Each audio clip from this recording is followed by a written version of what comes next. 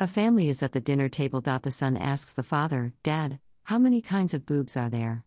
The father, surprised, answers, Well, son, a woman goes through three phases. In her 20s, a woman's breasts are like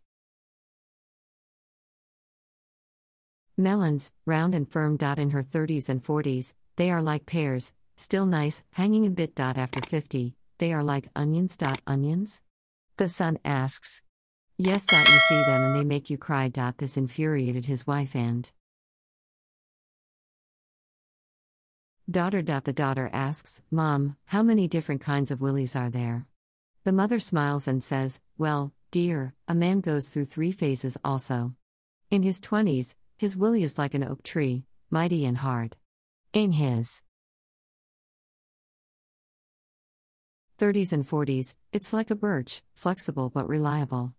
After his 50s, it's like a Christmas tree. A Christmas tree? The daughter asks. Yes, dead from the root up, and the balls are just for decoration.